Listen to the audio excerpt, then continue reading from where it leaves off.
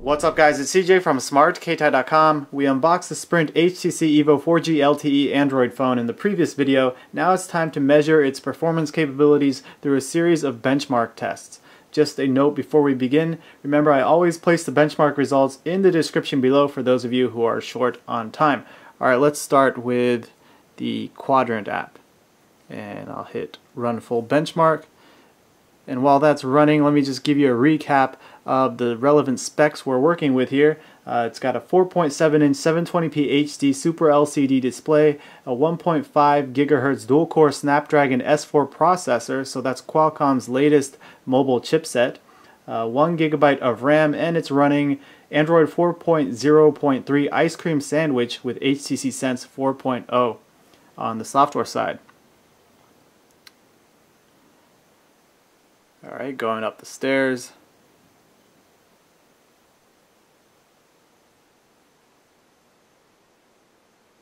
Should get the planets now.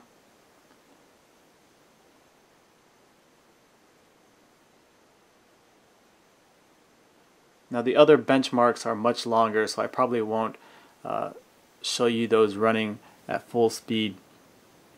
Probably just have to fast forward through it and show you the results. Alright, so here we go. You can see the HTC Evo 4G LTE is right up at the top with a score of 5009. So it scored slightly higher than its uh, HTC One X brother there. They're pretty much similar devices. Of course, this depends on uh, whether the One X here is running the Tegra 3 processor or the same Snapdragon S4 processor. I'm not sure here. Under that we have the Asus Transformer Prime TF201. Of course that's running Tegra 3 and that's a tablet. And then we have a bunch of older devices down here. Uh, unfortunately it does not list the Galaxy S3 from Samsung. But you can see it's got a top-notch score right there. So that is Quadrant. And next up let's run Antutu. Let that load up here. And we'll go to test, start test. Now this one's going to take a while, so I'll go ahead and fast forward the video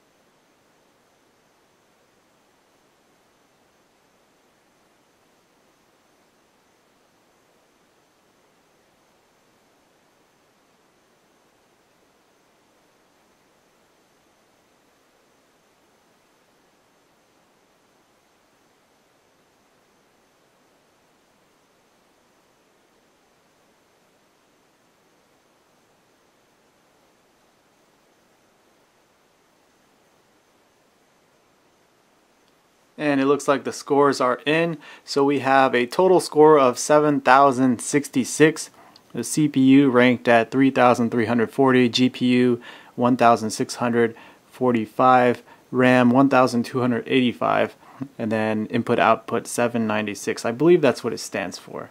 Uh, I'm not sure. I'm not gonna lie about that. So let's go ahead and go down here. I'll submit the score and hopefully we'll be able to check out.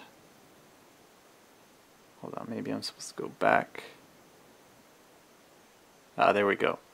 So we have the Samsung Galaxy S3 up at the top HTC One X down there. Actually let me just go over here. Alright here we go. So surprisingly the uh, Evo 4G LTE ranked kind of low here compared to the Transformer Prime and the Galaxy S3 you can see it still beats uh, the Galaxy Note and the Galaxy Nexus. Alright, this one's called CF Bench. It's by Chainfire, a well-respected developer. So we'll run the full benchmark.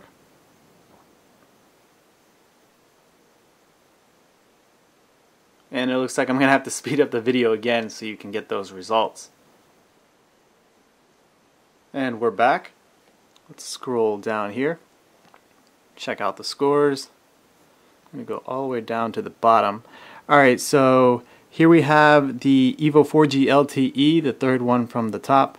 Uh, of course, the top is the Galaxy S3, and then we have the One X, which is a very similar device to this. Uh, so we have a native score of 12,664, Java score of 7,531, and an overall score of 9,584. And let me just zoom in on those scores in case you can't see that. This one's called Vellamo, and this is a little bit different because it actually benchmarks the web browsing performance. So let's run that and see how it compares.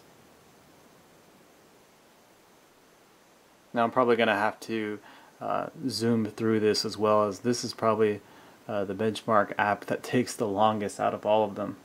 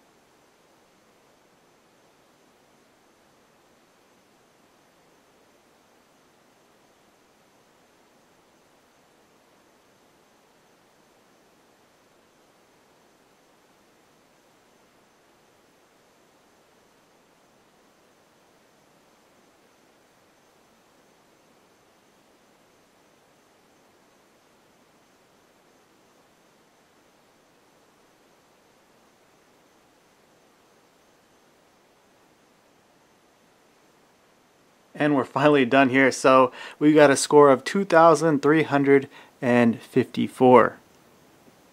Let me go ahead and upload the results.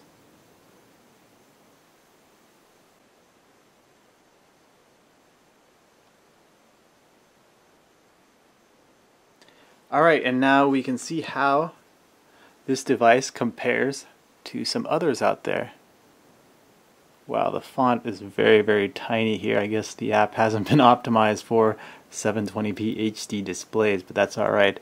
Uh, you can see that the HTC Evo 4G LTE actually made it to the top of the list here, and just below it is the HTC One XL. Of course, those are both running off of the Snapdragon S4 processor. And then below that, which scored significantly worse, is the HTC One X. That may be the Tegra 3 processor, but I'm not sure because there is the model with the uh, Snapdragon S4 processor out in the States as well. Last but not least, we have the multi-touch test.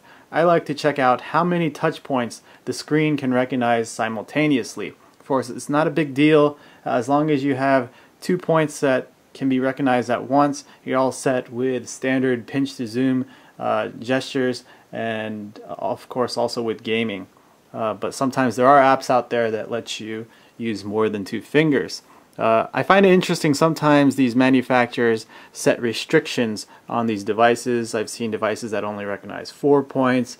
Uh, a lot of them recognize 10. Let's see how the HTC Evo 4G LTE does. Looks like I got 9 there. Alright, there we go, 10. You can see it starts out the first entry at 0, so if you go all the way down to 9, that equals 10. Alright guys, so that's how the HTC Evo 4G LTE fared in benchmarks. In the next video, we'll see how those numbers translate in terms of high-end gaming. And if you enjoyed this video, please give it a thumbs up and subscribe to my YouTube channel. Thanks for watching.